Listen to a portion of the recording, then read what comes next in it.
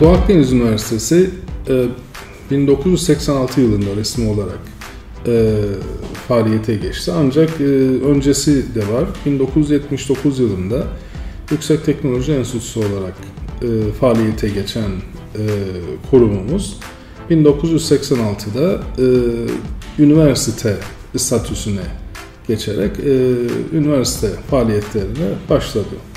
Tabi bu süreçte e, Türkiye'nin e, elçiliğimizin büyük destekleri e, oldu. Özellikle gerek altyapı gerek de e, mali yapıda e, düzelme olana kadar e, büyük bir destek e, alındı ve e, günümüze gelindi.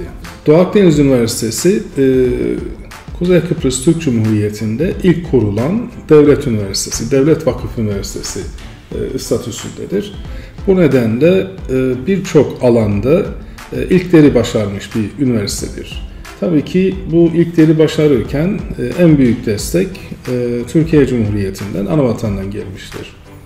En büyük destek derken yapı olarak baktığımızda altyapı, binalar artı mali yapıdaki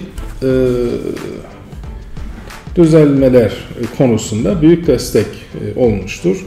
Laboratuvarların kurulmasında, e, teknopark e, kurulmasında, e, Teknopark da üniversitemizin e, bünyesinde ortak olarak e, bulunduğu bir yapı.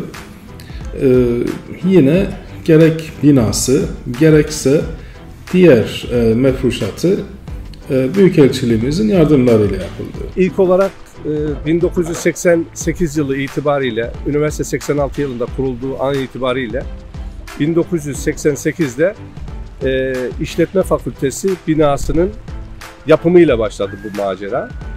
E, bu e, arkası arkasına tabiatıyla yıllar içerisindeki e, üniversitenin gelişimine paralel olarak da e, her yıl e, belirli alanlarda e, bina bazında ve değişik projeler bazında büyük katkıları oldu. Üniversite kurulduktan sonra e, 88 yılında İşletme ve Ekonomi Fakültesi binasıyla başladı yatırımlar.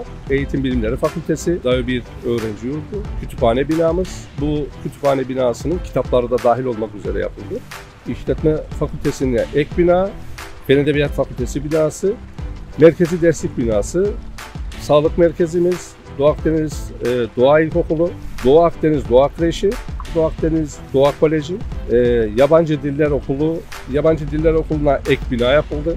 Turizm Fakültesi, e, Lala Mustafa Paşa Spor Sarayı, İnşaat Mühendisliği, Davi Öğrenci Yurdu, 2 numaralı yurt, Hukuk Fakültesi binası, Elektrik Elektronik Mühendisliği binası, e, stadyumumuz, e, Bilgisayar Mühendisliği, Mimarlık Fakültesi'nin e, binaları ve stüdyo binaları, Endüstri Mühendisliği binası, e, Doğu Akdeniz Üniversitesi Sosyal Deniz Tesisleri, Eczacılık e, Fakültesi Sağlık Bilimleri Fakültesi e, B ve C blokları ek binaları yapıldı.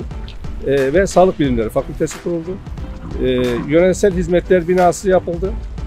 Öğrenci Aktivite Merkezi, DAYÜ Tıp Fakültesi, DAYÜ 3 Öğrenci Yurdu, DAYÜ 4 Öğrenci Yurdu, Rauf Raif Denktaş Kültür ve Kongre Merkezi yapıldı. KYK Öğrenci Yurdu A bloğu yapıldı.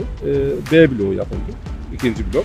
Rektörlük binamız Personel ve Mali İşler Müdürlüğü binaları, e, Öğrenci İşleri Müdürlüğü binası, Davi İslam ve Kültür Merkezi yani şu anki camimiz e, ve tesisleriyle birlikte e, yapıldı.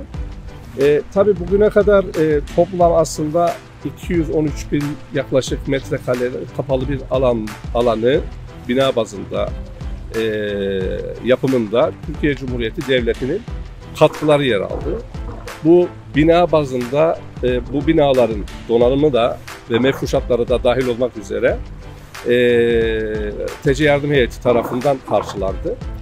E, tabii bu binaların dışında altyapı e, yatırımlarına, e, onun dışında ise e, akreditasyon, e, işte modernizasyon ve çok değişik binaların renovasyonunda da e, değişik katkıları oldu e, Türkiye Cumhuriyeti Devleti'nin.